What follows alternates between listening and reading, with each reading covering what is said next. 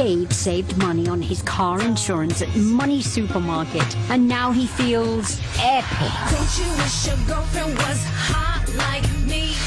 Don't you wish your girlfriend was a freak like me? Don't you? Don't you? Don't you wish your girlfriend was wrong like me? Don't you wish your girlfriend was